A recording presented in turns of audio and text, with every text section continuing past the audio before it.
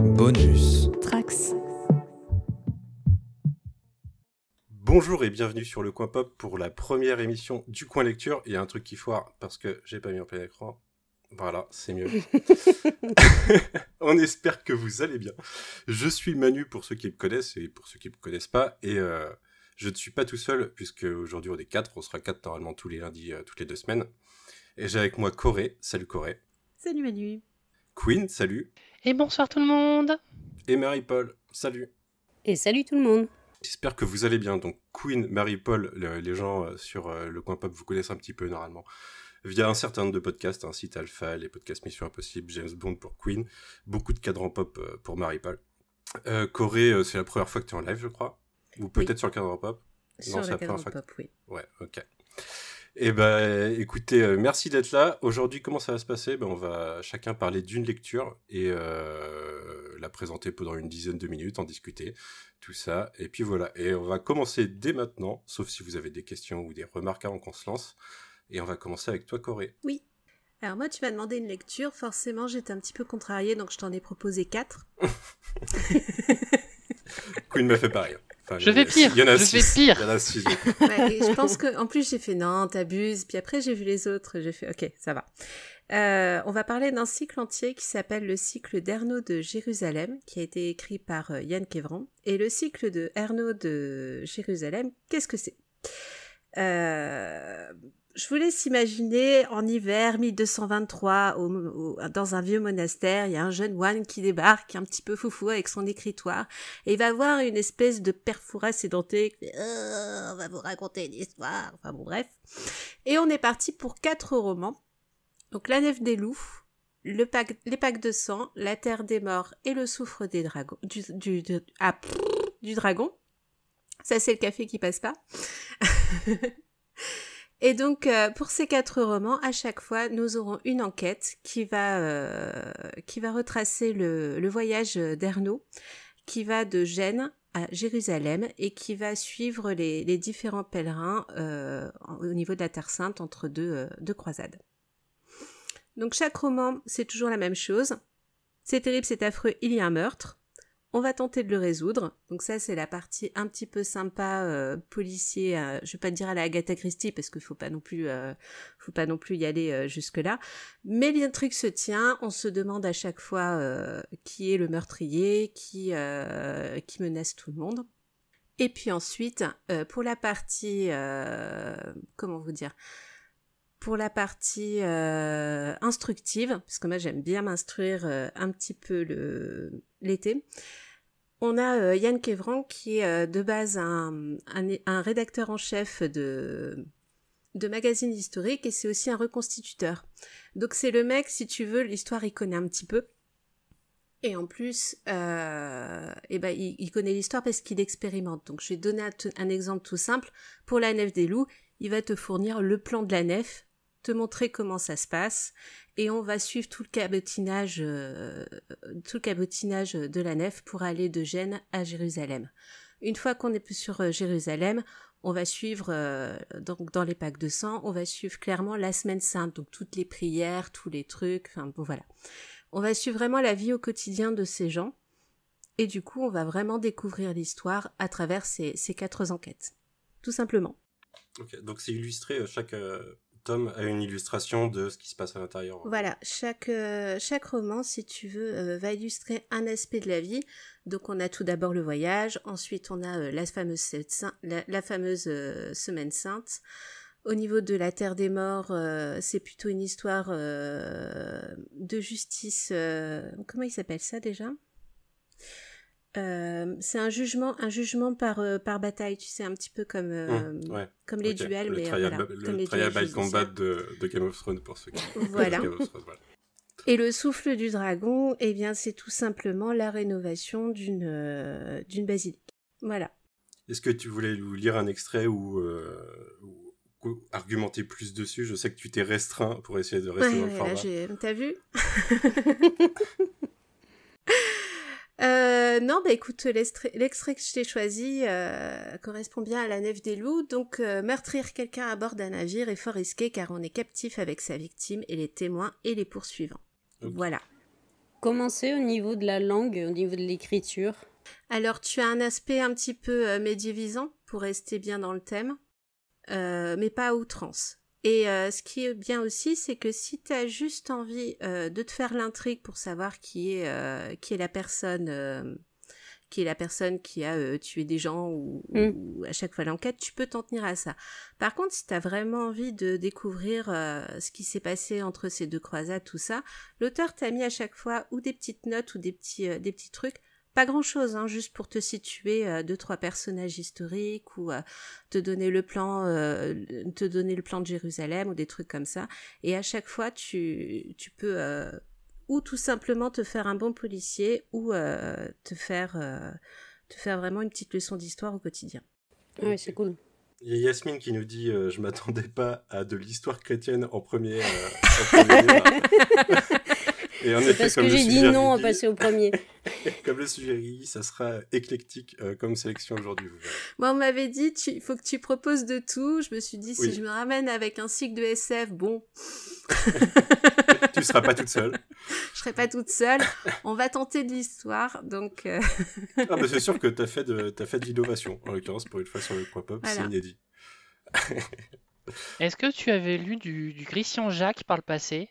Ah ben bien sûr, euh, j'ai commencé. Euh, Et du coup, euh, dans le style roman fictionnel, mais dans un cadre historique plutôt maîtrisé, tu, situes ça comment?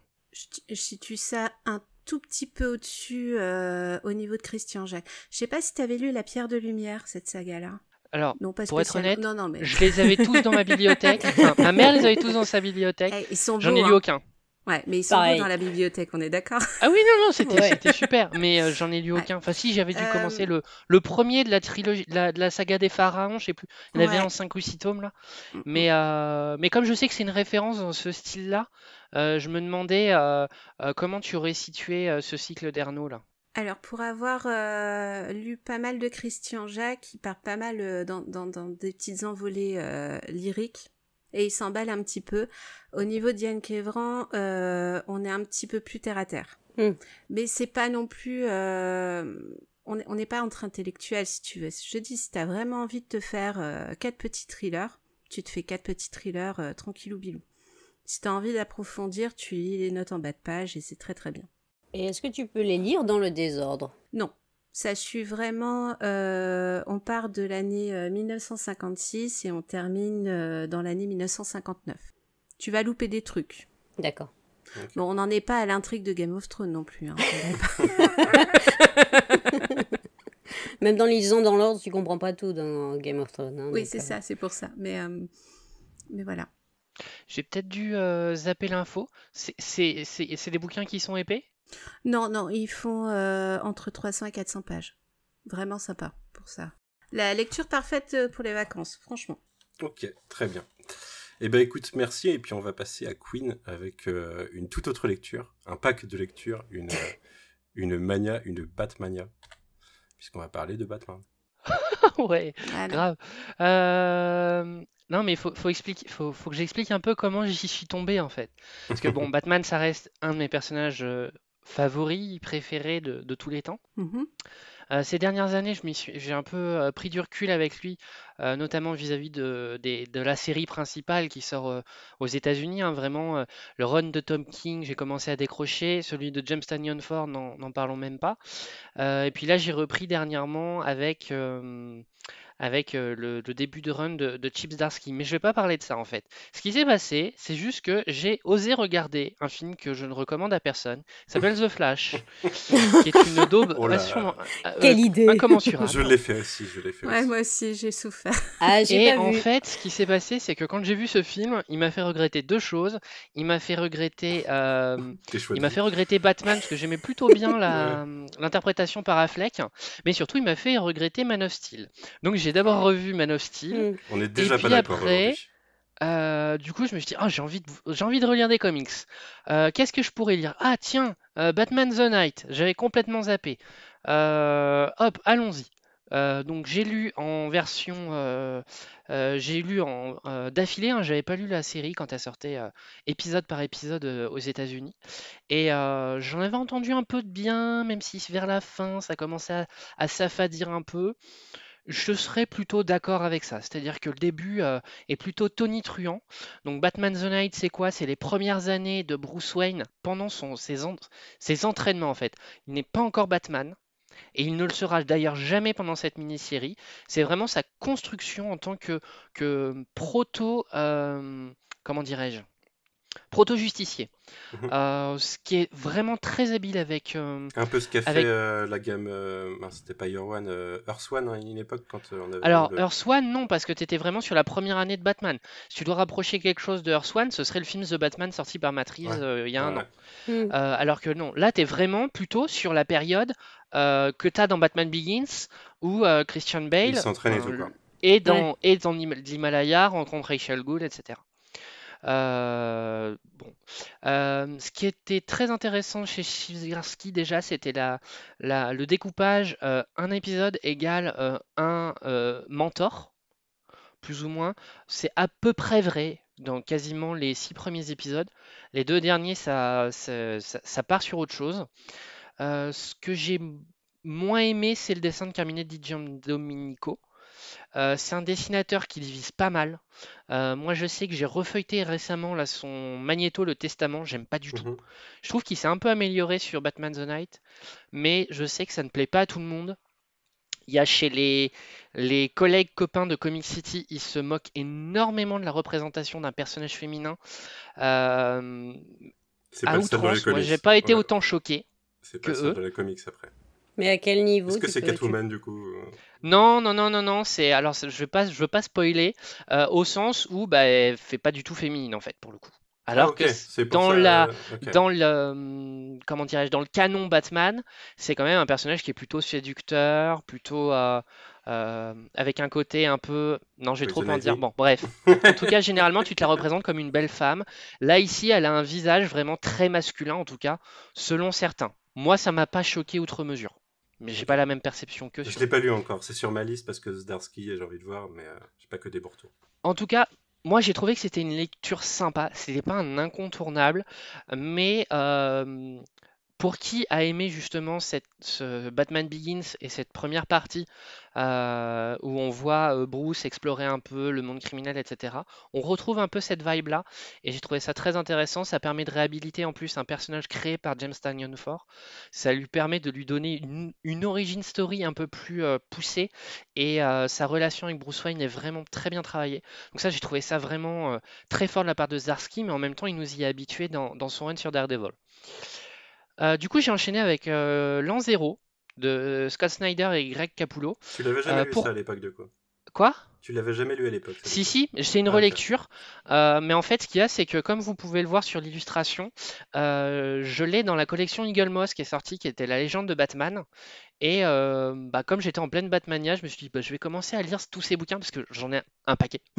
Genre, j'ai les 80 premiers de la légende de Batman, j'ai jusqu'aux 120, 125 de, des meilleurs des super-héros. J'en ai lu 10 pour une et puis 15 pour l'autre. Donc, j'ai vraiment plein de comics à rattraper. Et euh, c'était l'occasion. Donc, euh, je l'ai relu et grosse déception. Vraiment. J'avais plutôt bien aimé le côté blockbuster à l'époque. Là, ce que je me rends compte, c'est qu'il y a un trop gros décalage. Euh, je suis pas dedans. Il y avait des, il y a des trucs que j'ai lus là qui m'ont vraiment choqué. Euh, que, ce soit, sur des aspects graphiques, genre par exemple, il y a une espèce de, de bat dirigeable, mais qui ferait presque la taille de Gotham City. Non. Euh, et puis, même un moment, tu as un flashback de Bruce dans ses années universitaires. Et je sais pas, ça parle de manga avec la, la meuf qui côtoie. Je sais pas, ça colle pas. Ça, ça collait pas. Bah, moi, je l'ai pas relu depuis l'époque, mais à l'époque, euh, j'aimais beaucoup le début de run de Scott Snyder et Capullo parce qu'il est depuis le début. J'ai pas aimé du tout euh, Zero Year. Ça commençait déjà avant, mais Zero Year, euh, je suis passé à côté. Je trouve que. Bah, je sais que ça avait énormément divisé. Je sais que ça avait énormément divisé. Moi, ce que j'avais bien aimé, du coup, pour le coup, c'était c'était le rôle de, de Riddler dedans. Et en fait, c'est ça que j'ai oublié de dire. Pourquoi j'ai voulu lire l'an zéro parce que euh, Riddler est énormément mis en avant dans l'an 0. et c'est l'antagoniste de, The Batman. Et en fait, dans The Batman, il y a un élément du scénario qu'on retrouve qui vient de Zero Year. Dans ah Zero Year. Et ça, j'avais trouvé ça intéressant. Bah pour moi, c'est ce qui rend la lecture intéressante aujourd'hui. Mais à l'époque, je me souviens, euh, en fait, j'avais interviewé plus tard euh, Scott Snyder à Angoulême euh, après qu'il ait fait ça et enfin qu'il avait continué encore sur Batman. Il a bien plus vrillé depuis avec Metal et tout. Mais à l'époque déjà en fait, dans la discussion, j'avais commencé à comprendre ce qui ce qui avait changé chez lui. Et c'est c'est l'anxiété en fait, l'anxiété parentale et l'anxiété générale par rapport au monde qui a commencé à prendre le pas sur son run de Batman. Et, et ça se ressent et ça m'a un peu sorti du truc parce que ça sortait de Batman. Là où Tom King est quelqu'un de très anxieux dans tout et, dépressif dans tout, son run de Batman, je trouve que c'est l'amour qui ressort, même s'il y a, y a toujours de la dépression. Mais avec Snyder, je trouve que ça s'est perdu justement dans ça à un moment. Je pense qu'il faudrait que je redonne sa chance au run de, Tom King à l'occasion, mais tout comme au run de Morrison un jour, euh, c'est des choses sur lesquelles il faudrait que je revienne, et puis c'est bah, l'occasion des, euh, des collections que j'ai pour le coup. Euh, du coup, j'ai vu The Batman, j'ai relu l'an 0 pour revoir cette partie sur le Riddler. Ok, allez, j'enchaîne avec Batman Imposter. Pourquoi? Parce que c'est scénarisé par un des scénaristes de The Batman. Donc c'est Madson Tomlin, c'est dessiné par un mec J'adore Andrea Sorrentino, euh, son passage avec Jeff Lemire, Lemire ou Lemire, je sais jamais, euh, sur Green Arrow. je crois. Lemire. Donc Jeff Lemire sur Green Arrow, c'était un bijou. Euh, c'est sympathique. Il y a vraiment un côté The Batman pour le coup, mhm. avec ce, ce, Batman très débutant, etc. Mais il a manqué quelque chose. Vraiment, je ne saurais pas dire quoi. Il a manqué quelque chose. Je, je pense que ce qui a manqué, c'est des très très bonnes idées mises dans, dans les deux premiers épisodes et un troisième épisode, parce que je crois qu'il est en trois, qui vraiment euh, chute vers la fin. Ça reste une très très bonne lecture, un très bon Batman moderne, avec un retournement qu'on pourrait anticiper, mais euh, pris dans l'ambiance, ça passe. Moi, ce qui m'avait perturbé, euh, la raison pour laquelle je n'ai pas lu, c'est que la, cover là, que je vois ici même, le design, ça me fait penser à du Batman Arkham en jeu, ce que j'aime beaucoup jouer mais pas du, ce que j'aime pas du tout en tant que Batman, en l'occurrence. C'est pas le Batman ah, que je veux voir, quoi, que je veux lire. Et du coup, bah, c'est un peu, euh, je dirais pas The Batman, parce que je suis pas un grand fan de The Batman de Bat Reeves, sachez-le. Mais euh, je, je dirais pas que c'est exactement ça The Batman, mais c'est un peu, un peu cette vibe un peu plus edgy euh, qui me mm. saoule un petit peu. Mm. Mm. du coup, j'ai revu The Batman, j'ai lu Batman Imposter. je me suis dit allez, j'ai encore envie de Batman. Qu'est-ce que, à, côté de quoi je suis passé euh, euh, ces dernières années, ou alors que j'avais commencé à lire et que j'ai lâché? The Batman's Grave. Alors, du décrié à raison Warren Ellis et dessiné par euh, Brian Hitch. Mhm. qui n'est pas le meilleur dessinateur. alors, c'est, alors, par contre, là, il s'en sort très très bien. Franchement, c'est un très bon Brian Hitch. Je crois qu'il n'y a pas, ouais, c'est ça. Il n'y a pas un mec dans, une meuf dans tous ces runs, dans tous les, tous les titres là. Il n'y a pas une meuf. Euh, si, dans Batman Imposter, il y a un rôle féminin. Il y a deux rôles féminins qui sont très bien mis en Ah oui, dans les auteurs. Ah oui, non, mais ça c'est, mais ça c'est la scène comique. Sur Batman, il y en a rarement, hein, mais. Euh, sur Batman, ouais. Euh, moi, je me rappelle, moi, il y avait un numéro sur le run de Snyder qui avait été posé à un moment, passé à un moment à, je sais plus qui, une dessinatrice, il me semble. Ouais, c'est possible, mais il y en en a pas des masses. Enfin, sur si, du Batman de, Batman de King, si, t'as du, euh, as du Jordi Belair en colo, t'en as eu depuis un moment, je Oui, non, mais moi je parle en scénariste, pour le coup. Mais Belair, elle a pas fait du scénar? Eh ben, c'est ça, c'est Jordi euh, Belair. J'étais pas sûr, mais tu me le confirmes. Je Il y a Jordi Belair qui avait fait un hein, numéro sur un personnage qui est énormément. Il y a pas Clunan aussi qui a fait du euh, Batman à l'époque Becky Clunan je confonds peut-être les non, deux. Non, c'est hein. Becky Clunan, t'as raison. Oui, voilà, c'est ça, je confondais les deux. C'était sur le personnage de Bluebird avant qu'elle soit Bluebird. Et ben moi, je sais pas pourquoi, j'adore cet épisode. Et il est toujours. Enfin, j'ai l'impression que dans la plupart des rééditions, il est complètement mis de côté. Alors, je trouvais que c'était un épisode qui était super intéressant. Ça permettait de bien développer ce personnage. Harper Row, voilà son, son, mhm. nom. Je, je, ne sais pas pourquoi ce personnage est autant détesté. Moi, je le trouve très intéressant. Bref, je reviens à Batman. C'est le, timing de quand elle a été poussée, c'est pour ça. Probablement. Euh, je reviens à Batman's Grave. C'est trop gros pour ce que c'est. C'est que 12 épisodes quand même. C'est très décompressé, c'est-à-dire que. Alors, ça permet à Brian Hitch de, se défoncer. Vraiment, il y a des pages, euh, des, des bastons, c'est très très bien mis en scène, mais du coup, le scénario est vraiment mis en arrière. Euh, c'est probablement un des meilleurs Alfred jamais écrits. Vraiment, un, un Alfred hyper sarcastique plein de cynisme, plein de... Non, vraiment, euh, Bruce, ok, vous êtes mon patron, mais je vous en fous plein la gueule dès que je vais en avoir l'occasion. C'est jouissif, surtout que parallèlement à cela, euh, quand ça sortait, euh, bah, il n'y avait plus d'Alfred dans les comics Batman. le scénario, on est encore une fois, on est un peu sur ce scénario classique de et si Batman se permettait de tuer, il y a un peu ça. J'adore. Ouais, non, mais c'est un peu toujours pareil. Euh, il y a un côté Arkham Knight un peu dans bah, l'adversaire. et il y a une surenchère technologique, que ce soit le côté Batman et de son adversaire. Ça a fini par me faire bah, décrocher à certains moments. En effet, Arkham Knight, c'est un peu ça. Ouais, ouais, complètement. Euh, donc, pas ouf.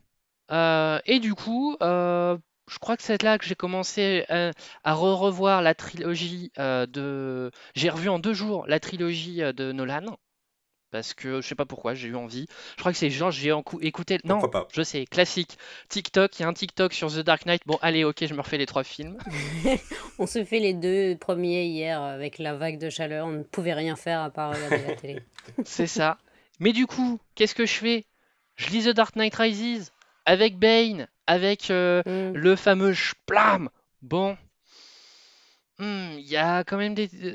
Ça commence à me titiller dire Nightfall, ça commence à me titiller, mais d'abord. Ah ouais, mais moi, moi, je peux regarder mille fois Dark Knight Rises, j'aurais jamais envie de relire Batman Nightfall, que j'ai jamais fini. Mais, mais je l'ai jamais lu, j'ai jamais lu.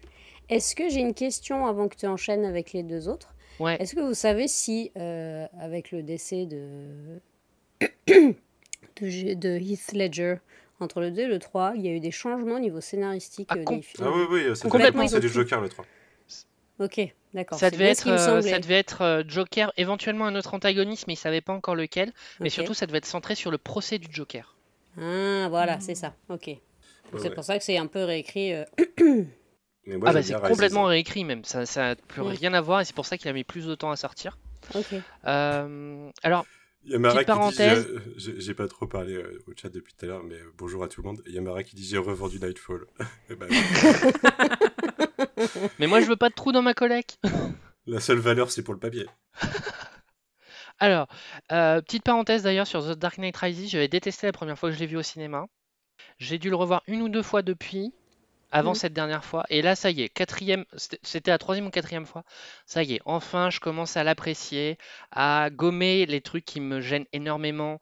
Euh, il y a, une, enfin, il y a un, élément de montage qui, est, qui, qui rend le, la fin complètement débile.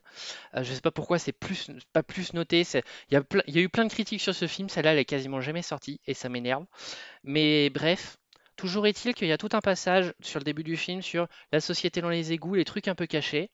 Mmh je sais pas pourquoi ça m'a fait penser, sans l'avoir lu, à un Batman le culte. Hmm. Donc de Jim Starlin et Bernie Wrightstone. C'est un Batman hyper dark, très violent, avec une, vraiment une ambiance hyper pesante. Euh, Batman euh, est vraiment mis au second plan, enfin, est vraiment mis plus bactère à, à certains à, un moment de l'histoire, et il peut compter que sur Robin sur ce moment-là. Euh, il y a tout un passage aussi d'ailleurs où le culte finit par prendre euh, possession de Gotham, un peu comme dans Dark Knight Rises euh, vers la fin, où c'est euh, bah, Gotham qui est isolé et tous les, les le bas peuple, les voyous, etc., qui, prennent possession. Donc très certainement une grosse inspiration. Enfin, je pense que mm. ce serait difficile de le nier. Et bah, j'ai plutôt bien aimé. J'ai eu un peu de mal à accrocher au dessin, parce que la colo est vraiment euh, très particulière, c'est-à-dire que euh, chaque, euh, chaque case a sa dominante de couleur. C'est très, vraiment très particulier. mais vraiment, si vous l'avez jamais lu, je vous encourage. Et là, encore une fois, c'était dans la collection Eagle Moss, mais là, cette fois-ci, dans le meilleur des, des, des super-héros, pas dans la légende de Batman. Et donc, enfin, je finis. Donc, j'ai commencé à lire le Run de Nightfall dans la collection La légende de Batman.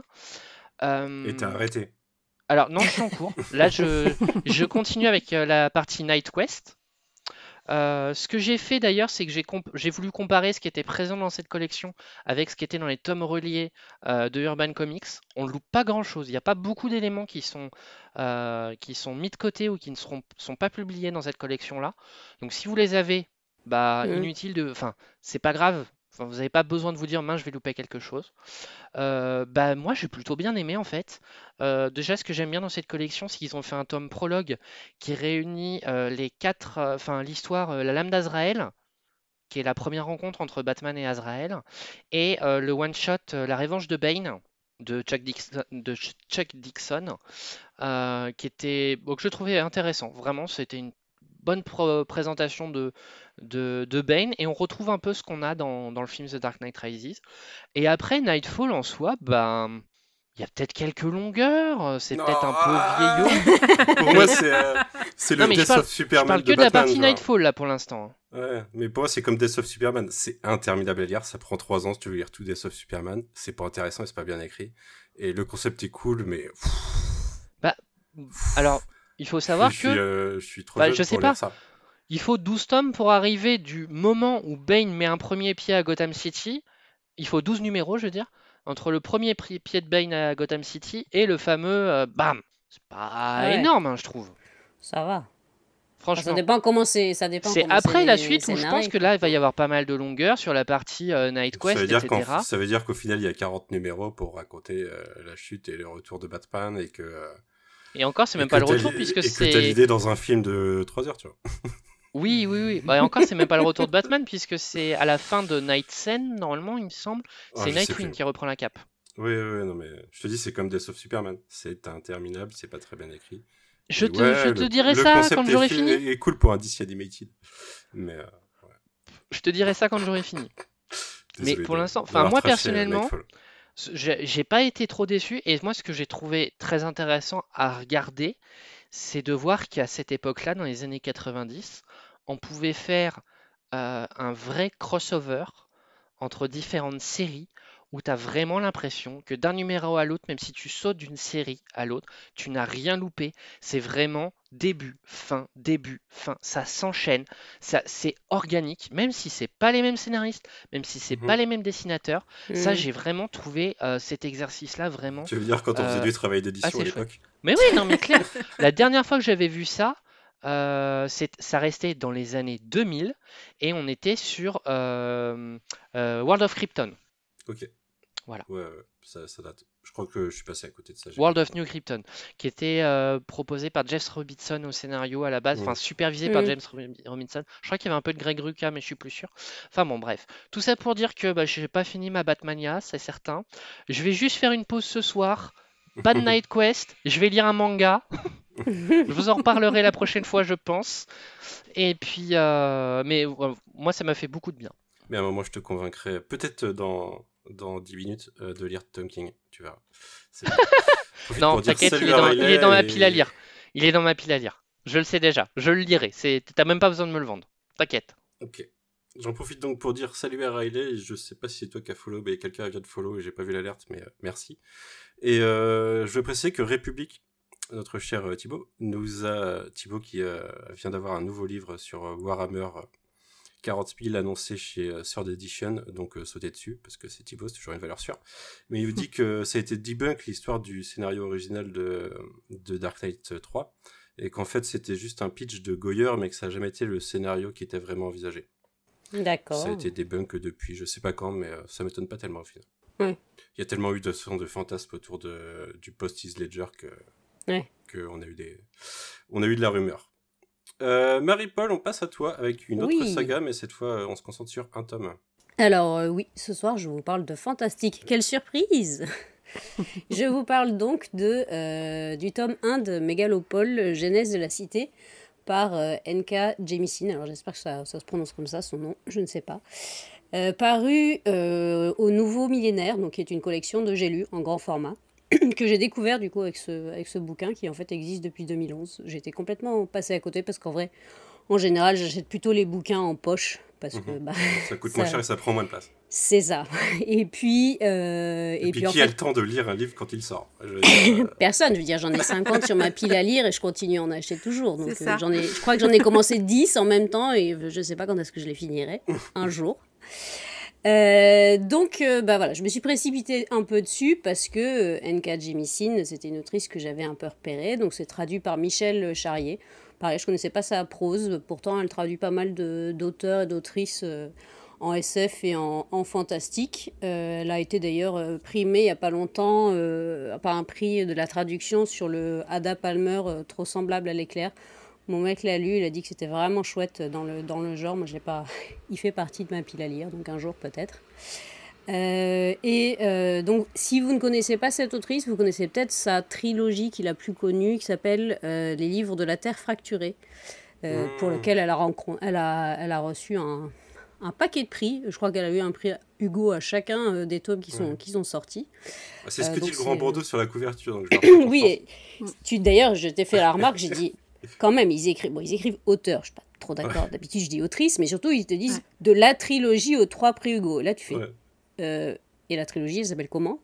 C'est quoi? Enfin, C'est un peu bizarre comme formulation marketing. Il y avait peut-être pas assez de place, je sais pas. C'est un peu bon, bref, c'est un peu chelou. Peut-être le surnom dans le milieu de la trilogie. Euh, tout le monde sait que c'est celle-là. ça doit être ça. La trilogie des trois. Comme le film.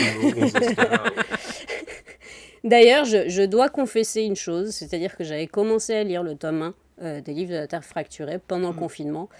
Et, euh, et j'avais pas, c'est pas ce dont j'avais envie à l'époque. En fait, peut-être qu'un jour je serai honnête avec moi-même et j'arriverai à me dire que la fantaisie, j'accroche toujours difficilement en bouquin, alors que je kiffe dans d'autres médiums. Je ne sais pas pourquoi. Alors que j'ai bien aimé lire le début de l'intégrale de Terre-Mère euh, d'Ursula Le Guin il n'y a pas longtemps. Enfin, euh, donc je ne sais pas. Je réessayerai. C'est parce que tu n'as pas euh, le visuel associé du coup. Peut-être. Il y a peut-être peut-être ça. Euh, donc, mais bon, je, me, je ferai ça après avoir lu le tome 2 donc, de Megalopole, qui vient juste de sortir d'ailleurs en français, et ça c'est super, je suis contente de pouvoir vous en parler, alors que le tome 2 est sorti, parce que moi ça fait deux ans et demi que je l'attends, et je ronge mon frein. Euh, ce que j'ai découvert euh, ou redécouvert en lisant la page wiki de l'autrice, c'est qu'elle elle fait dans la fiction spéculative. Et moi, je ne connaissais pas le terme, je ne sais pas si vous connaissez. Euh, mais en gros, euh, ça parle de, euh, des réactions des sociétés ou des individus face à des problèmes naturels ou des développements technologiques. Mais la technologie n'est pas l'enfant en soi, en fait. C'est juste le, moyen pour arriver à une fin possible. Et donc, ça explique peut-être pourquoi j'ai autant kiffé Jeunesse de la Cité, parce qu'en fait, c'est vraiment ma cam, ce genre-là. Ce genre -là. mais du coup, de quoi ça parle? Un du coup, petite dédicace au quadrant pop. Donc Jeunesse de la cité, ben, ça parle d'une de mes préférées, euh, d'une de mes cités préférées au monde, c'est-à-dire New York. Euh, pourtant, il y a des tas de choses qui me pourraient m'y déplaire, mais j'adore quand même m'y balader euh, pendant des heures. J'aime bien me perdre dans ces longues rues sur des kilomètres. Prendre le ferry pour Staten Island. Oui, je fais partie de ces gens qui font prendre le, juste le ferry pour le plaisir de voir Manhattan de l'abbé. Enfin Donc, euh, mais enfin en vrai, c'est pas du tout pour ça à la base que j'ai ouvert euh, ce roman. J'avais juste lu les résumés de la quatrième de couverture et je me suis dit ah c'est cool, du fantastique à New York par J.B. Sin, ça peut être ça peut être vraiment chouette. Parce que euh, dans ce bouquin, bah, elle rend vraiment hommage à New York, une ville qu'elle aime et qu'elle déteste à la fois, dans laquelle elle vit depuis 2007, je crois. Euh, mais euh, voilà, elle est, euh, l'aime. La vie lui a appris à plein de choses, lui a appris à, vivre l'aventure. Elle est prête à, elle sait résoudre tous les problèmes possibles et imaginables parce que c'est la ville qui lui a appris la débrouille. Et à l'image de ses protagonistes, elle se battra toujours pour la ville jusqu'à ce que la, vie ne, la ville ne veuille plus d'elle. Donc en fait, donc voilà, dans le bouquin, il y a une carte au tout début qui montre les cinq arrondissements de New York. Parce que effectivement, New York, est composé de Manhattan, du Bronx, du Queens, comme on voit ici, mais également euh, de Brooklyn et de Staten Island, qu'on verra sur, le, sur la page d'après. Voilà, c'est juste pour vous, euh, remettre un peu la, géographie. Et pourquoi est-ce que euh, on, on s'arrête vraiment sur les arrondissements de, de, la ville? C'est qu'en fait, les, arrondissements ont des avatars humains. et ils, doivent, ils doivent faire face à un grand ennemi avec un grand E majuscule. Euh, en fait, on commence et on découvre un jeune homme qui est un étudiant qui descend du train, euh, qui vient s'installer à New York, sauf qu'au moment où il descend de ce train, il ne se souvient plus de rien, de qui il est, d'où il va, de qu'est-ce qu'il va faire, alors qu'on on, l'a su quelques, lignes auparavant. Mais euh, voilà, il lui arrive, il lui arrive plein dès, dès, la descente du train, il a un évanouissement, il ressent des choses très, très bizarres au fin fond de lui-même. Il sent le cœur de la ville battre en lui. Il sent qu'il y a un problème au sein de la ville, il sent qu'il y a un danger. il sent qu'il doit aller sur FDR Drive, donc il est Franklin euh, Delano Roosevelt Drive, euh, qu'on voit sur la, page précédente, et qu'il est le seul à pouvoir y aller. C'est-à-dire que euh, même s'ils sont cinq arrondissements, c'est lui qui doit aller à cet endroit-là pour faire une action qui va permettre de sauver une partie de la ville. Et Yasmine qui dit une vibe Neil Gaiman, et je suis assez d'accord, ça me fait un peu penser à la vibe American Gods quand tu vois. Ouais, tout à fait. Euh, en sachant que euh, ce que je n'ai pas dit, c'est qu'N.K. Jemisin est une autrice noire. Euh, et donc elle écrit assez différemment de, de beaucoup d'hommes blancs qui, qui, qui, qui, qui, peuplent la littérature noire. Donc la littérature noire, c'est la littérature de genre. et d'ailleurs, Lovecraft en prend pour son grade dans ses pages, c'est-à-dire qu'elle le tacle de manière très évidente. Elle dit que c'est, dit pas que c'est de la merde, mais un peu quand même, puisqu'évidemment il y a quand même aussi une vibe Lovecraftienne euh, dans, le, dans la menace d'une, d'une grande entité, on ne sait pas laquelle c'est, je n'en dirai pas plus sur ça. Euh, mais j'imagine que euh, la couve fasse une sorte d'œil, c'est pas. C'est pas anodin. C'est pas mais pareil, je ne veux pas vous en dire plus parce que voilà, c'est il y a, plein de petites choses, plein de petits détails. elle décrit la ville de manière assez fascinante. Euh, et tu, quand tu es passé dans certains endroits, tu arrives à visualiser les endroits. Enfin, c'est assez, c'est assez fou. À la fin, elle explique quand même, elle connaît très bien la ville, mais qu'il y aura toujours un relou pour lui expliquer qu'elle n'a pas bien décrit le rocher euh, X, Y, Z comme, euh, comme il existe en vrai. mais qu'elle elle a fait, a quand même fait de son mieux. Euh, son New York à elle, c'est pas celui que moi j'ai vu en tant que touriste blanche évidemment, même si j'ai vécu un moment, enfin j'ai vécu du temps avec des, des locaux, etc. Euh, mais c'est aussi ce qui fait la richesse de cette ville. C'est-à-dire que c'est un le fameux melting pot, comme on aime, comme on aime à dire. On a des dizaines de cultures, de langues qui se mélangent, qui s'écrasent, qui se croisent. Enfin voilà, c'est euh, un, un, sacré, un sacré bazar. Et euh, ce, qui est, assez fou, c'est que elle décrit cette ville tentaculaire, face à cet ennemi un peu tentaculaire lui aussi, et avec des avatars humains, donc, qui incarnent des, arrondissements qui ont chacun un peu une âme et une personnalité un peu qu'on pourrait se représenter effectivement par, par arrondissement. C'est-à-dire que le Bronx, il est effronté, il est créatif, il est plein d'audace. Manhattan, c'est un peu le mec qui va, qui est un peu le leader, tu vois, qui a un peu tape à l'œil, mais euh, il a un peu un côté sombre aussi. Pas trop non plus, évidemment, je, je force un peu le trait, mais c'est pas, c'est pas caricatural non plus. Euh, le Queens est accueillant, multiculturel, Brooklyn est, est, lyrique mais fier, et Staten Island, Island, par contre, est le mouton noir. Et ça, je ne connais pas assez Staten Island pour pouvoir dire pourquoi. Est-ce que c'est parce que c'est euh, un peu plus excentré?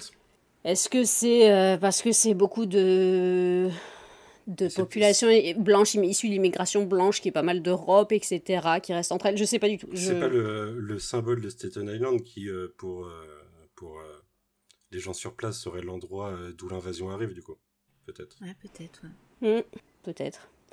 en tout cas, voilà, donc ça c'est assez, assez foisonnant et c'est l'écriture est assez. Il y a certes choix de la traductrice qui m'ont du coup un peu un peu euh, fait réfléchir. Euh, J'aurais pas formulé forcément comme ça, mais comme j'ai acheté le tome 2 en VO, je vais pouvoir voir si en anglais elle écrit de cette manière-là. Et euh, au final, la traduction est, très, est très bien. Moi, ce que je lis surtout aussi dans cette, dans cette œuvre, c'est quand même aussi quand même une critique de la littérature. Comme je disais tout à l'heure, fantastique. qui est dominée donc par ces auteurs, ces auteurs blancs, parce que bah, oui, c'est une œuvre politique, euh, oui, les personnes blanches, euh, ils sont dépeintes de manière assez désagréable par moments. Euh, c'est une autrice, c'est une autrice noire. Comme pour la plupart des autrices et des personnes racisées, bah, la lutte est difficile la lutte pour vivre, pour être édité dans ce milieu qui est permanente. la condition de vie des personnes racisées aux États-Unis, on sait comment c'est, c'est une catastrophe, quoi. c'est une survie permanente. Et, euh, et, je pense que c'est pas anodin non plus qu'elle ait euh, mis cette, euh, cette action au sein de New York, qui est aussi quand même le centre névralgique de l'édition littéraire. Mhm. C'est-à-dire que c'est la classe d'être édité par une maison d'édition new-yorkaise. Donc voilà, c'est peut-être moi qui me fais juste un... qui, moi, en tant qu'autrice, extrapole totalement, mais, mais quand même, il y a quand même quelques, quelques petits scuds qui passent de ci, de là. Et quand j'ai fini ce tome 1, bah, j'étais hyper frustrée parce que j'avais tellement envie de binger la suite, mais qu'elle l'avait pas encore écrite. donc c'est aussi pour ça, grâce au coin, lecture, au coin lecture de ce soir, je me le relis en ce moment, pour comme ça je pouvoir me remettre vraiment tous les, tous les éléments en tête. J'en avais, j'en avais oublié certains, dont notamment l'écriture, qui, qui m'était un peu sortie de la tête. Et euh, je suis très contente de vous en parler, de pouvoir, de pouvoir le relire. Euh, et moi, ce que, ce que je sens aussi, c'est qu'elle aime vraiment d'amour cette ville et elle, elle, aime les gens malgré tout qui y vivent. Euh, elle, elle, elle, espère et elle a confiance qu'ils vont pouvoir, si jamais il devait y avoir un, un autre, enfin des, des, des, combats à mener, qui de, ils sauront faire face, ils sauront être solidaires. Et d'ailleurs, ce tome 1, il est sorti en 2021, donc elle l'a écrit en 2020 pendant la mmh. pandémie. Ouais, ouais. Voilà. Donc, euh, ça... c'était plutôt vite. Ouais, c'est assez, c'est assez lié. Et un dernier point un peu euh, sur, sur l'autrice elle-même. Euh, elle a également bossé pour du comics, puisque en fait, c'est elle qui a écrit le Far Sector de Green Lantern, dessiné par Jamal Campbell. que j'avais beaucoup aimé parce que bah, forcément après avoir lu Genèse de la Cité, Far Sector est sorti l'année mhm. suivante. j'avais envie de voir ce qu'elle était capable d'écrire en comics. Et j'ai trouvé ça plutôt cool. Euh, en plus, elle a pris hein, le perso Green Lantern, elle en a fait une, une protagoniste noire. Dans un, elle est aux confins de la galaxie. Donc je connais rien à Green Lantern, donc je sais pas si c'est euh, si c'est raccord, si le personnage correspond. Enfin voilà, je suis pas du tout là, mais en tant que justement voilà, j'ai pris. Green Lantern était très blanc jusque dans les années 2010 et ils ont rajouté euh, quelques Green Lantern, déjà des femmes et des musulmans.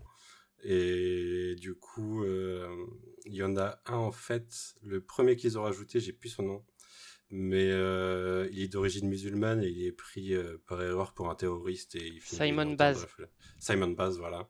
Mais voilà, donc j'ai bien kiffé et euh, j'espère que ça vous plaira et je suis, si vous voulez en, en discuter, je suis, je suis là. J'aime beaucoup les cartes qu'on voit, les petits les petites bestioles ou les petites tentacules un peu partout. Le Hic euh, Sound Dragoness, il me semble que c'est du truc d'explorateur à l'époque quand euh, il y avait des endroits euh, dangereux, il marquait ça. Hmm. Par ici, il y a des dragons. exactement, en gros, on n'y allait pas. quoi. Hmm, hmm. Ça, ça, me fait penser à ça, j'aime beaucoup l'imagerie. Et c'est pas anodin qu'il y ait des grandes villes qui soient listées également sur Sao Paulo, Lagos, Paris, Le Caire, Hong Kong, Londres, etc. C'est des gros ports. Hein. j'en dis pas plus. Il n'y a pas Nantes dans l'histoire? Parce que ça aurait pu rajouter un certain côté. Mais bon. Eh ben ok. T'avais pas d'extrait de 8 pages à nous lire du coup? Non, parce que j'ai dépassé mes 10 minutes déjà. Ok, ben on passe à moi alors avec euh, le dernier titre. Et moi je reviens aux comics, mais à un seul comics, puisque je vais vous parler de Supergirl Woman of Tomorrow. Euh, de Tom King et Bilkis Evely, que je ne connaissais pas. Alors, c'est une artiste euh, brésilienne qui a fait du Doc Savage avant. Elle a travaillé sur euh, Sandman the Dreaming, que j'ai pas encore lu parce que j'ai jamais fini Sandman. et comment? Moi non plus. Hein. ouais, ouais, je mais on te juge quand même. Hein, mais ouais, non, mais l'histoire me jugera. L'histoire me jugera. Mais euh, et euh, elle a fait pas mal de couves de Wonder Woman. Je suis pas sûr qu'elle ait fait des intérieurs, mais j'ai vu pas mal de couves d'elle passer en tout cas qui sont magnifiques. Elle déchire. Elle est plutôt pas mal. Hein. Moi, je l'ai découvert. Bah, vous verrez. Hein. Les autres, il y, a ça en texte et les autres pages, c'est du, euh, c'est des pages, des cases de du comic book que je vous ai montré. Et l'auteur Tom King, on en a parlé déjà tout à l'heure puisqu'on parlait Batman, euh, mais c'est pas que Batman. Alors en fait, Tom King, pour ceux qui connaissent pas, alors c'est un de mes trois ou cinq auteurs préférés des dix dernières années, on va dire je pense. Euh, il y a lui, Hickman et euh, Mariko Tamaki où je prends systématiquement tout et puis euh, après c'est au cas par cas. Mais Tom King, c'est un ancien agent de la CIA, figurez-vous. Qui, qui a fait l'Irak notamment en 2003 et qui a commencé. alors je sais pas s'il a pas commencé par des romans, mais je crois qu'il a commencé, en tout cas en comics, avec Sheriff of Babylon, hmm. qui est globalement une adaptation de ce qu'il a vécu en Irak. Et ça parle de, ça parle de, du post-régime de Saddam Hussein quand l'Irak était sous tutelle euh, américaine et des choses qui se passaient sur place, qui sont pas forcément très claires. C'est un super comic book, je, je, recommande à tout le monde. Mais derrière, il a été surtout connu euh, chez DC pour son run sur Batman, puisqu'il a fait une centaine de numéros de Batman, 85 plus quelques annuels, plus une mini-série, enfin une maxi-série de 12 numéros euh, pour conclure son run Batman Catwoman. Euh, qui est un run dur, euh, enfin c'est dur de se mettre dedans, mais après ça, ça, devient vachement bien. Et il a surtout écrit pour moi le meilleur comic book Marvel des dix dernières années, qui est The Vision, euh, qui est une hmm. histoire, une maxi-série en 12 numéros sur la vision qui va se créer sa propre famille. Et ça va partir, euh, de... ça va partir ah, dans la violence totale. Euh, c'est absolument, absolument magnifique. Hein, ça fait chialer, sachez-le. Mais euh, vraiment, c'est une merveille d'écriture. C'est un auteur qui est très dans le PTSD sur beaucoup de personnages et il applique ça, enfin, dans, dans, sa vie, je pense. Et il applique ça à beaucoup de héros. Il a fait notamment une, une crise de DC, mais qui n'est pas vraiment une crise, qui était Heroes in Crisis, dans lesquelles on voyait euh, un drame se produire dans une, euh, une sorte de cabane qui était utilisée par les super-héros et les super-vilains, qui avait été mise en place par la Justice League pour les, traiter leur, euh, bah, leur dérive psychologique, en fait, parce que leur boulot fait qu'ils vont mal. Et alors, c'était très tendancieux parce qu'il se passe quelque chose. malheureusement, les, les, lecteurs aiment pas qu'il se passe des choses définitives en général dans les comics, qu'il se passe des choses dans ce comics. Tu veux dire, il y a des morts? il y, a, des morts et il y a un personnage qui est responsable de mort qui est pas n'importe qui. Mais, euh, mais ça a été Redcon. Ça a été Redcon, bien sûr, mais parce que rien ne peut durer, mais c'était bien à l'époque. Et c'est aussi, euh, bah, pour moi, l'auteur du meilleur comic book de DC des dix dernières années, qui est Mister Miracle, qui est la même chose que je visionne sur un autre thème, mais 12 euh, numéros aussi, avec Mitch sur, sur Mister Miracle et sa relation avec sa femme, avec Doomsday, avec la vie, avec beaucoup de choses et c'est incroyable. On en arrive à Supergirl Woman of Tomorrow, qui est euh, une de ces euh, nombreuses maxi-séries. Celle-ci est en 8 numéros seulement euh, en VO, mais ça reste dense, sachez-le. Supergirl, c'est un personnage les gens connaissent en général parce que c'est le pendant, féminin de Superman. À un moment, on a voulu faire une déclinaison féminine de Superman. On a fait sa cousine, qui est plus vieille que lui mais plus jeune que lui, à cause de la façon dont elle est arrivée sur Terre, des questions de relativité et de quand elle est partie, tout ça. Euh, mais qu'on n'exploite pas euh, des masques, surtout, enfin, qui a été beaucoup à faire valoir à travers les années, peut-être un peu moins ces dix dernières années. On a quelques bonnes choses comme euh, Joel Jones avec, je crois que c'est Joel Jones hein, sur Supergirl Being Super. Oui. Mais historiquement, c'est pas le personnage le plus traité. Il y a par exemple une version de, de je sais pas si vous connaissez Power Girl, qui est une Supergirl alternative.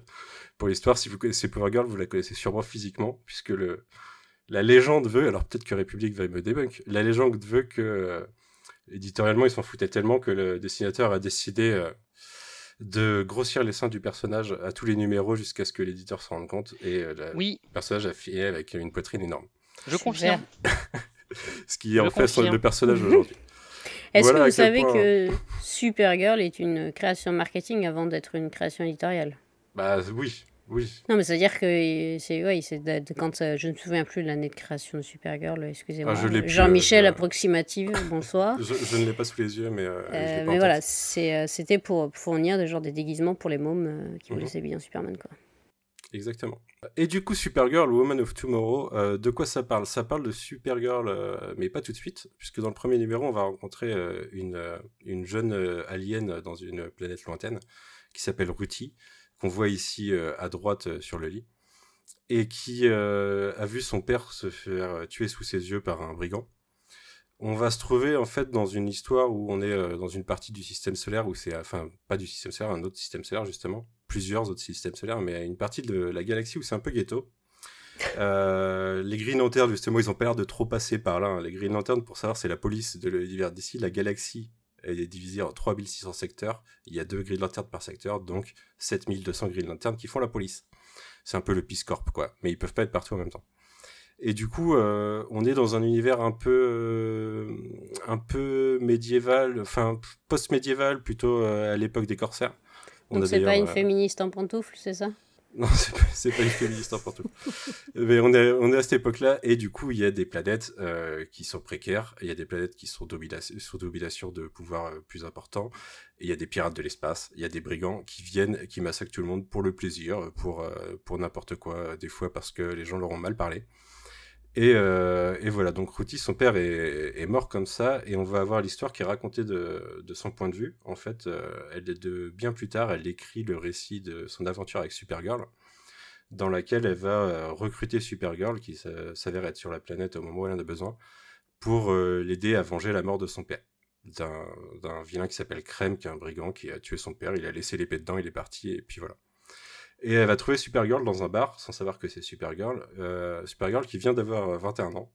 Et du coup, elle est venue dans ce système où il y a un soleil rouge pour être vulnérable et se mettre une race pour s'évaporer. bon plan, j'aime bien. Bravo. et du coup, elle est là avec Crypto, ils ont pas leur pouvoir, tout ça. Elle se fait agresser, elle riposte, euh, ça, ça se passe plutôt pas mal. Mais euh, un peu plus tard, après euh, que Routy euh, l'ait recruté, Crypto est blessé. Et le premier numéro finit comme ça avec Supergirl et Routy qui vont partir à travers l'espace pour aller à la recherche de crème et, et lui mettre sa branlée. Potentiellement le tuer. Dans le premier numéro, techniquement, Routy nous dit qu'à la fin, ça s'est fini avec Supergirl qui le tue.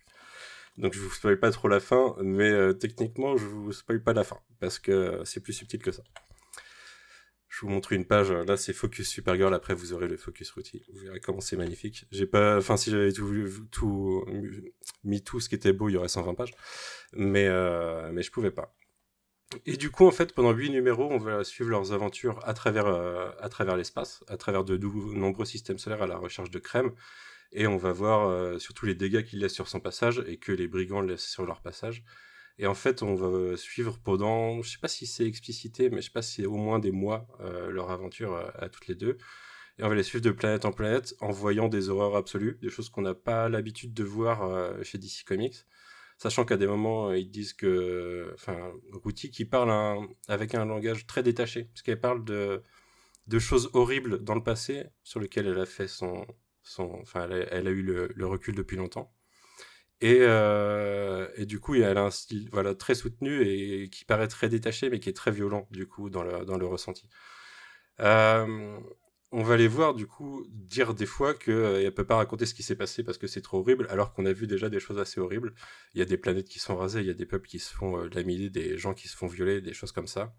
Il y a un numéro très touchant, je crois, c'est le 4, où elles, sont vraiment sur le parcours des ravages de crème et euh, Supergirl va se proposer d'aider un mec qui, entre, qui doit creuser 200 tombes avant, tout seul avant le soir, parce que sinon les gens ils vont finir dans une fosse commune et il y a sa fille dans l'histoire et il sait même pas où elle est.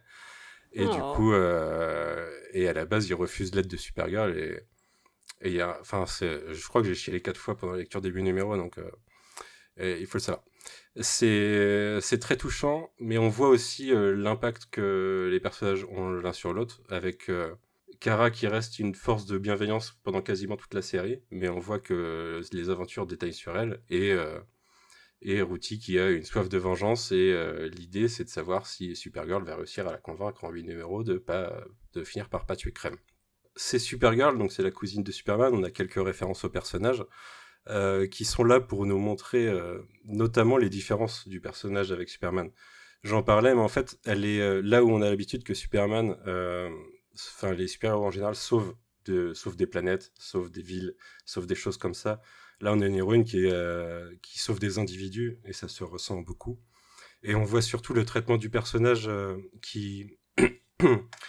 auquel on on laisse pas la la, peine qu'elle mérite, j'ai envie de dire, puisque il y a tout un numéro sur les origines de Supergirl avant qu'elle arrive sur Terre. Et en fait, ça nous rappelle que Supergirl, elle avait 14 ans quand Crypto a été détruite, que quand Crypto a été détruite, il y a une partie de Crypto qui a survécu et qu'elle a vu tout le reste de sa planète continuer à mourir les uns après les autres jusqu'à ce qu'elle soit la dernière. Et ensuite, elle a été envoyée sur Terre. Elle a vu euh, deux fois son peuple mourir avant d'être envoyée sur Terre et d'arriver plus jeune que son cousin qui avait eu le temps de vieillir en attendant et d'être prise un peu pour euh, euh, bah, pour l'adolescente de la famille alors qu'elle avait vécu bien plus de choses que son cousin en fait. Et euh, il y a notamment un numéro où elles sont bloquées sur une planète euh, puisque les, les personnes de la Super Family sont euh, sensibles à la magie. Et le, le et Crème à un moment est rattrapé et utilise une enfin un sortilège qui les envoie à l'autre bout de la galaxie. Et ça les envoie sur une planète où qui a été faite justement pour contrer Superman. Et ce qu'on nous raconte, c'est que d'après euh, Supergirl, c'est l'épreuve la plus dure d'après Superman qu'il a jamais vécue. Et le plot twist, c'est qu'à la fin, elle dit qu'il y restait 45 minutes. Et elles doivent y rester 10 heures avant de pouvoir s'en échapper. Du coup, on a tout l'épisode, enfin tout le numéro où on voit euh, à quel point elle souffre, à quel point elle prend cher. Et euh, en l'occurrence, c'est Routy qui est obligé de l'aider pendant cela parce que c'est très hostile comme environnement. Il y a des dinosaures en gros. Et à la fin des 10 heures, euh, elle s'en sort et t'as un petit fuck Superman. C'est pas marqué, t'as fuck this guy, quoi. en gros, qu'est-ce parce que en gros, elle nous dit que elle a... Superman s'est envoyé là et au bout de 45 minutes, la Justice League est venue le chercher. Mais que c'était quand même l'épreuve la plus dure de sa vie. Je pense que c'est un peu Tom King qui essaye de nous faire la métaphore de de la douleur de plus forte que les hommes peuvent ressentir face à un accouchement, par exemple, ou des choses comme ça. Mm. Mais, mais voilà, on a beaucoup de bah, de sous-textes assez puissants sur Supergirl et ce qu'elle représente au final, ce qu'elle est comme héroïne euh, à côté de ce que sont la plupart des super-héros et de ce qui, la, ce qui la rend unique. C'est une des héroïnes que je trouve les plus intéressantes, euh, en tout cas euh, par rapport à son cousin, que je trouve assez. Enfin, j'en ai assez peu lu, j'ai plus lu du Supergirl que du Superman au final, et même j'ai plus regardé Supergirl que, que Superman. je trouve que c'est ouais, effectivement le dans les adaptations télévisées, euh, j'irais pas jusqu'à dire que Supergirl est meilleur, mais bon, Superman n'a pas non plus. Euh, ça dépend quoi. ça dépend quoi. Figurez-vous que j'aime bien la Supergirl de The Flash, même si c'est moche. On ne la reverra jamais. Mais bon. Euh, j'ai bien aimé la série. La série Supergirl, j'ai tenu 4 épisodes, je crois. Ah, moi j'ai J'aimais bien les actrices, mais, mais non. Enfin, la prod, quoi. C'est la, la ah, Il y a des trucs intéressants dedans. Bah, disons que euh, mon avatar euh, sur Discord devient un petit peu de Discord, de Supergirl, donc bon. Je sais, je connais. Mais voilà, du coup, euh, alors je vais pas vous en spoiler plus parce qu'il y a beaucoup de choses à dire, mais c'est, comme je vous disais, c'est très émouvant, c'est magnifique. ça, c'est que quelques pages, mais il y a vraiment un nombre de pages incroyable. Il y a pas que, enfin, il y a d'autres lore de la Super Family qui est assez intéressant, notamment avec un, un personnage euh, qui est un super cheval, nous dirons. Et non, franchement, c'était une claque. Je trouve que c'est un petit chef-d'œuvre. Je sais pas où le placer dans la dans les œuvres de Tom King de ces dernières années, parce que j'en place beaucoup de très haut. Alors il y a, des des bévues, des trucs qui sont juste moins bons, quoi, qui sont moyens. Il y a rarement des trucs très nuls. Mais euh, non, et puis je pense que je, je vais checker ce que fait euh, Bill Kisevely par la suite parce que c'était magnifique. Est-ce que quelqu'un, est-ce que tu l'as lu toi, Non, pas encore, mais c'est prévu. Alors, euh, petite, euh, petite aparté, j'ai lu le, la VO, du coup, parce que j'ai le single. J'ai vu que c'était euh, traduit par Jérôme Wiki en français, ce que je ne trouve pas forcément très pertinent quand on connaît le passif du personnage. Bah, d'où mon tacle anti, sur les... Anti-woke du personnage, dirons-nous c'est peut-être pas le c'était peut-être pas la, la, série à lui faire traduire en l'occurrence. Bah, en même temps, c'est lui qui a déjà traduit Supergirl et qui a parlé de féministe en pantoufle. C'était mon c'était mon petit. Ouais, ouais non. Bad Girl, Bad Girl. Euh, non, c'était Bad Girl, pardon. Mais euh, enfin non, c'est une catastrophe. Si vous pouvez, lisez-le en anglais plutôt. Après, euh, voilà, vous pouvez soutenir Urban Comics, mais on espérerait qu'il il fasse des meilleurs choix de traducteurs de temps en temps à bon entendeur, euh, diront. Oui, ou, ou, juste que le, que le traducteur apprenne à se remettre en question. Oui, oui, oui, bien sûr. Il est très vieux. Pas tant. Ouais, c'est pas une excuse, hein, mais. Non. il doit avoir la cinquantaine à peu près, peut-être un peu moins. Je sais pas. Enfin, bref. Et eh ben, c'est tout pour moi. Voilà. Si vous avez des commentaires, euh, bah, vous, euh, ici même sur Discord, ou si vous avez des commentaires dans le chat, n'hésitez pas commentaires sur ce qu'on a dit, ce qu'on a lu, ce que, ce que, ce que vous avez lu éventuellement. Sinon, on se quittera là de toute façon. Merci d'avoir été là en tout cas et d'avoir participé au chat. Donc, je sais pas si vous avez, enfin, si vous vous regardez un petit peu Discord, mais euh, on a Mara de C'est la radio, on a Yasmine, Guigui, République qui était là. On a Granny Weatherglass qui est là. Le film Supergirl euh, qui réduit l'intrigue à un combat pour un mec. C'était il y a longtemps. Euh, on, connaît, on connaît. Ils l'ont ressorti cette Supergirl, je ne sais pas si tu as vu. récemment, dans un film d'ici récemment sorti, ils ont fait des magnifiques CGI. Tu veux dire là où il y a des bébés qui tombent Ouais, euh, c'est pas la même scène, mais c'est le même film. Oui, je vois. Donc merci Riley, merci Guigui, merci. Euh, j'imagine que c'est Fab. Merci Quentin. Je ne vois pas de commentaires pour l'instant. Non, tout très intéressant. Bah écoutez, merci. Bah merci à Salut Aptis J'espère, euh, j'espère que tu vas bien. On se retrouve bientôt. Normalement, il faut que je regarde le film. On se retrouve bientôt. Bah écoutez, si vous n'avez pas de questions, eh ben, on se retrouve dans deux semaines en live. On se retrouve euh, la semaine prochaine en version, euh, version podcast off pour ceux qui veulent faire des capsules. Si vous voulez participer, n'hésitez pas. Si vous voulez pas apparaître en live ici, vous pouvez faire les versions une semaine sur deux en capsule. N'hésitez pas à envoyer un message euh, sur Twitter, sur euh, Discord, euh, où vous voulez, mais il y a de la place. Et puis sinon, bah, on vous dit à bientôt et puis merci. merci Est-ce que vous avez quelque chose à rajouter, vous? Ce que vous, c'est quoi vos prochaines lectures? Je vais, le, je vais le chercher. Moi, je sais pas, je vais peut-être lire. Euh, j'ai Saison de sang qui m'attend de Spurrier. Euh, ah. Ça avait l'air pas mal. Et sinon, j'ai un paquet de top kicks que j'ai pas lu et euh, je crois que le Poison Ivy, euh, l'ongoing Poison Ivy de, bah, c'est euh, Marcio Takara et je me demande si c'est pas Mariko Tamaki d'ailleurs, que j'ai depuis un moment qui m'attend. C'est quoi Je vois pas Queen? On dirait Tintin d'ici. Ah oui, c'est un manga, t'as dit. Ah oui. De Hiromo Arakawa, à savoir l'autrice de Full Metal Alchemist. Oui. Qui revient à l'écriture en solo. Trop bien, c'est sorti là. Euh, en parallèle de, euh, de, de, dessiner toujours euh, la saga La légende d'Arslan, hmm. que, que je lis également. et que j'aime beaucoup, même si j'ai pas lu les deux trois derniers tomes. Je pense qu'il faudrait que je les refasse de toute façon depuis le, depuis le début. mais sinon, ouais, c'était. Enfin, c'est la grosse nouveauté. je voulais tester un peu, voir ce que ça allait donner. et puis voir si je continue ou pas. C'est vraiment de la lecture euh, découverte là pour le coup. Ok, super. Ah, c'est sorti chez qui?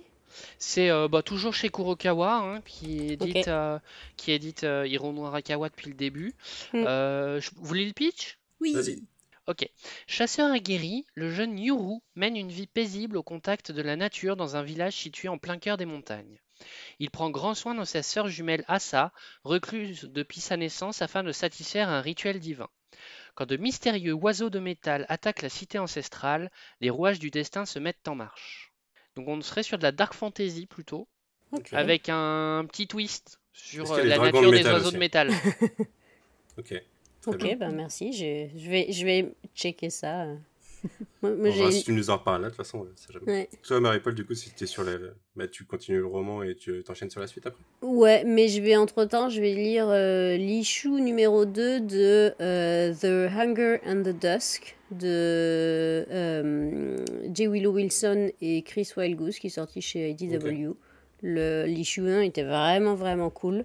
Euh, c'est des orques, de la fantasy et c'est écrit par euh, Willow Wilson, donc euh, c'est, enfin, moi j'aime beaucoup son, son mhm. écriture, donc j'ai hâte de lire la suite. co-créé Miss Marvel notamment. Oui. Kamala Khan. Et toi, Corée, t'as une lecture à venir? Euh, bah, écoute, ce matin très tôt, j'ai terminé Holly de Stephen King. D'où mes cernes. Euh, par contre, je pense qu'une fois qu'on aura, on aura raccroché, je vais entamer La Société protectrice des kaiju de John Calzi. Euh, ce qui me tente depuis deux mois et je le, je le bouscule euh, au gré des sorties en ce moment. Donc, euh, tu vas peut-être intéresser euh, Quentin dans le chat s'il est encore là, puisque le mmh. c'est son truc. Mais c'est un nouveau Stephen King? Pardon. Oui, il est, en VO, il est en VO, tu peux y aller. Il est trop, trop bien. Tout l'été, je me suis dit, je veux lire du Stephen King. Tout l'été, je me suis freinée. J'ai lu des trucs qui me tombaient un peu des mains. J'ai Stephen King, Stephen King, j'ai besoin de ma dose. Non, non, euh, si, si t'as vraiment besoin d'un gros shoot de Stephen King, euh, prends Oli. Ok. Vas-y. Donc tu as fini Oli, Oli. Oui, exactement. Bravo. Ok, très bien. Eh ben, merci à vous. Euh, on va se laisser là. On va, je vais vous envoyer en raid les spectateurs chez Sombwitch, qui fait de l'art en, en B-stream, je crois, avec le coin du masque. J'étais dessus tout à l'heure. Et je crois que c'est toujours en cours. Je vais faire ça. Et puis, ben, on se dit à dans deux semaines pour le coin lecture euh, et puis euh, à peut-être plus vite pour d'autres podcasts. À bientôt. Salut. Ciao, ciao. Salut. Bonne soirée. Bonus. Trax.